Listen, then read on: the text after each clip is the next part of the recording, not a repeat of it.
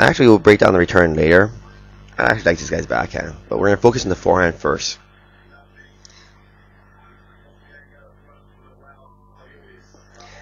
I, I watched Donald Young do this also. This high prep by the head. This guy must be about 6'1", 183 centimeters. Notice the high prep by the head. So he goes from that position there to his backswing where he's going to point the butt cap to the ball. His full backswing, but you see how low he is and how balanced he is? Left arm is out, and the butt cap's pointing to the ball. And then we watch the follow through.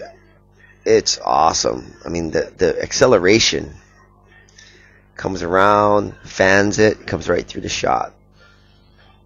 That was your standard ground stroke. Now we'll take a look at look at again. Translation weight forward. It's a beautiful shot.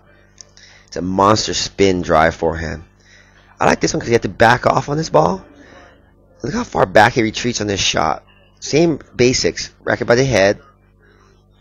Watch his feet though. He's not going to be able to plant his feet, but he's still going to rotate completely. Butt caps the ball, weights on his back foot. He's starting to rotate now.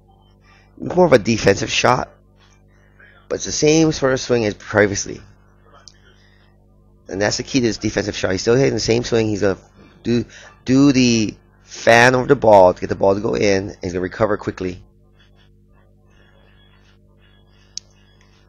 Mid-level shot. To step in. It's the same swing every single shot.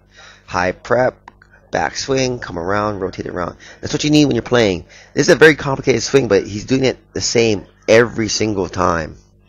I like this one because he's running towards me on the running forehand. Same swing, gets there, pops it.